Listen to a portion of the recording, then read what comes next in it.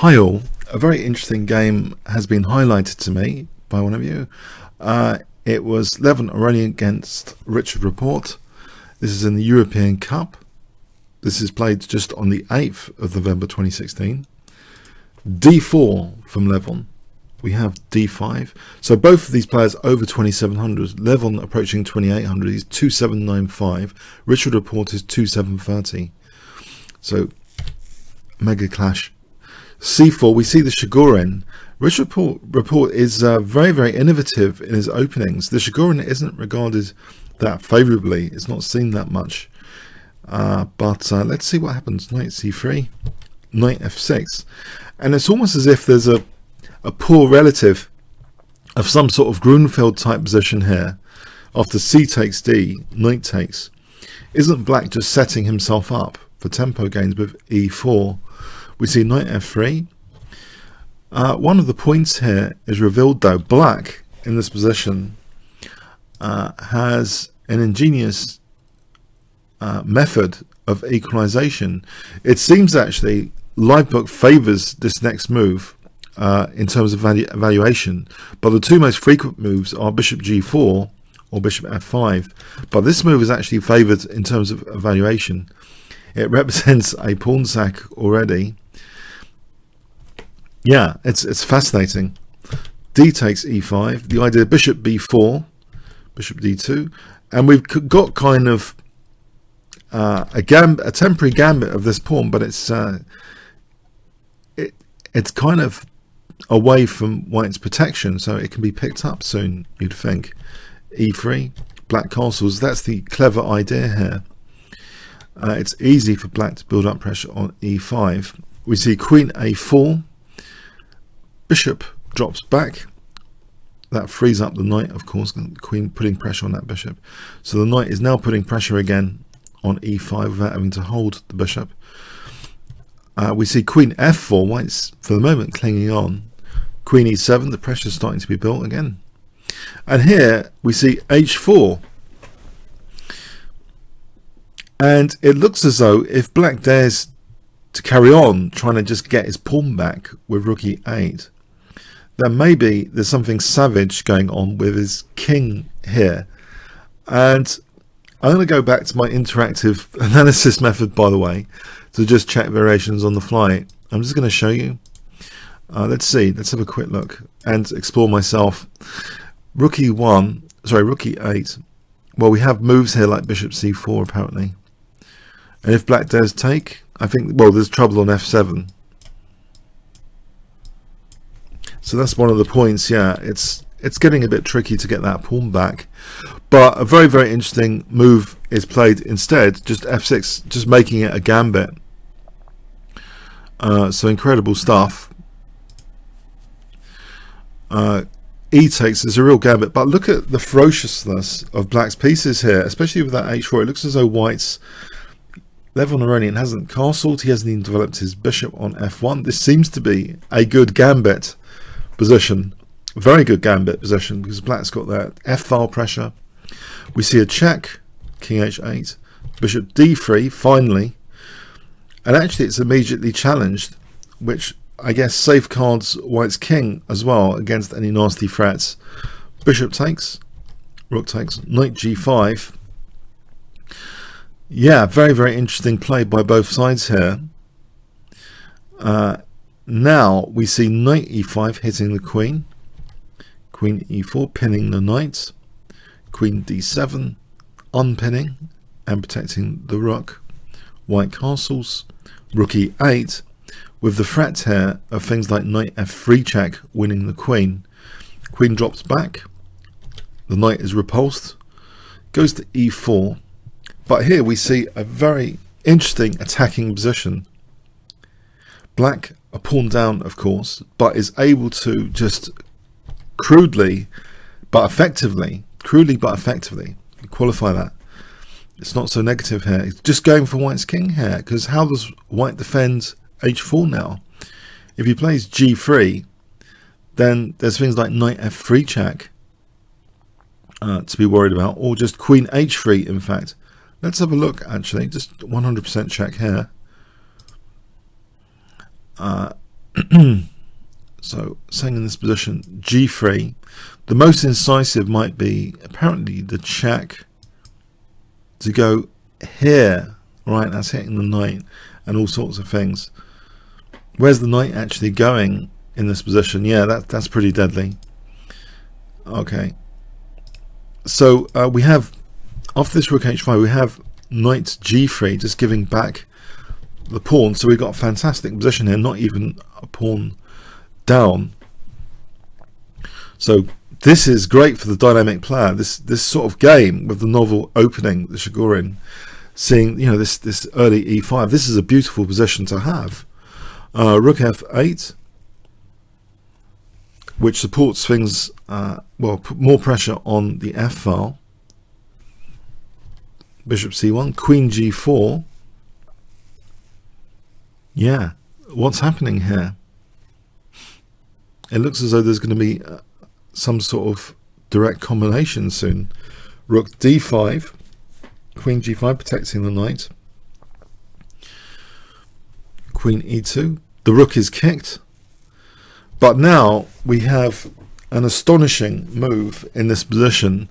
I wonder if you can guess it if I give you uh, five seconds to pause the video and try and check out what black should do in this position it really is kind of astonishing.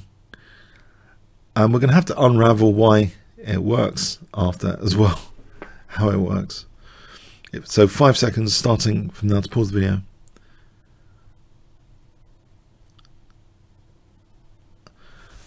okay black played rook h1 check now one key point is knight takes there's knight f3 that wins the queen and black's better because the king's got nowhere to go uh, so basically, king takes is played. but the idea here, obviously, these two squares are ruled out. So bishop takes d4. Yeah, in slow motion, just to get h4 for the queen. Now, white played f3 here. If he plays king g1, then knight g4 is strong with the threat of queen h4. For example, here, queen h4, and then we have check, queen takes g3 and black ends up better in this position the most incisive move technically is actually c5 which destabilizes white's structure. Uh, and the idea is basically to get the d file with rook d8 later but also simply in this position the rook maneuver rook f5 is strong and and simple. For example like this. This is strong for black. Strong enough. Very good position. Uh, so after f, uh, so bishop takes d4, f3 was played. Uh, if c takes d4, check, knight g4, rook moves to give the king air, check, queen takes. We have a similar line that we've just seen where either c5 or rook f5 are strong. Uh, now, just just as a sanity check on this, this whole rook h1, you might ask, well, could could he have like taken here first and then rook h1? Let me just check that interactively with you. Bishop takes d4 doesn't seem to work here. Either e takes or c takes is better for white. Pardon me, e takes is better white, not c takes. E takes, hitting the queen. The point is hitting the queen now the check, this doesn't work because this line that we saw earlier fails. Knight f3 check, queen takes f3 because we're hitting the queen. So that's why this particular move sequence is staggering, that the rook h1, it's a staggering move sequence in this position to play rook h1. And, and then bishop takes d4. It's this move order which is trickery, resourceful move order. Wonderful, isn't it? Check. So anyway, in the game, bishop takes d4. Uh, so we've examined king g1 not working or, or taking. Um, now here also, let's look at e takes d4 in this position as well, because isn't this similar to what we've just seen as a, as a refutation? Well, in this particular case, there's a check and then knight g4. Yeah, this this doesn't work too well because we get this kind of position. Now here, again, rook f5 is interesting. Uh, but there might even be other stuff. But rook f5 is dangerous. Or even rook f6 and h5. This is this is just really dangerous for whites. King safety. If ever plays king g1, there's queen h2 and, and mating.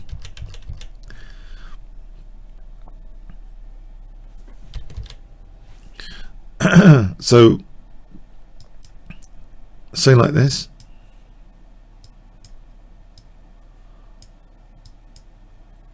it's it's horrible for white so yes it's, it's interesting that um, here the defense chosen in this particular position is f3 now the bishop just drops back So we're equal on material, but black's got a raging attack. 94 check. Bishop c7, pointing at h2 now. Potentially king f2. The king tries to evacuate over to the queen side. Rook d8, cutting the queen, king's journey a little bit. This facilitates the king coming to the queen side more. But check. And now the queen simply goes over here with queen e5. It's switching over here. And it's horrible. The light squares are particularly weak in this position for white. And note, the queen is gliding on light squares. Yeah, threatening queen a4, checkmate here. Queen g2, check. Knight c4. Yes, this does not look pleasant with things like queen b2 here. That's stopped. Rook d5 we have g5.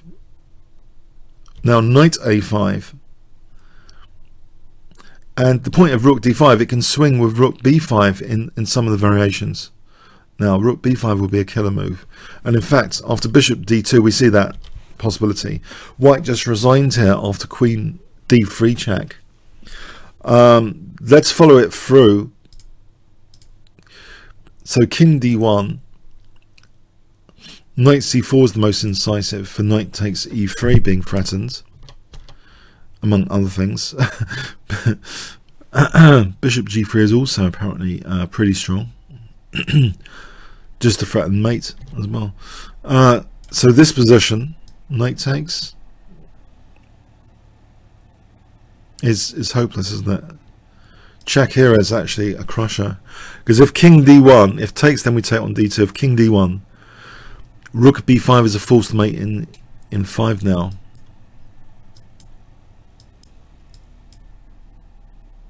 Yeah, this this is uh, going to be mating. That the king is absolutely defenseless. There's beautiful lines. yeah, I know we're far from the final position, but um,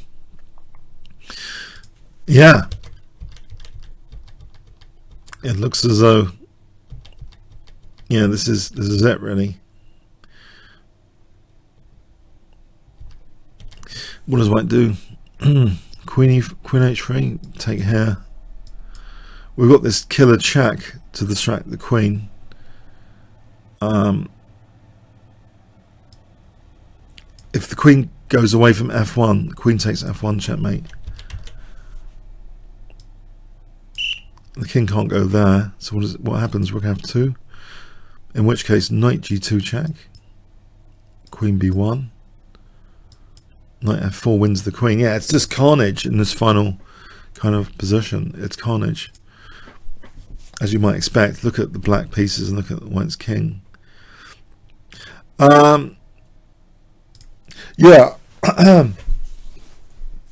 uh, please let me know about the experimental format. I just really wanted to um, put out this game video um, fairly quickly because I've, I've noticed that I haven't been doing too many master game videos uh, recently, and I thought um, I could just interactively check out the game with you as well. So it makes it more fun and, and convenient for me just to quickly present an interesting game.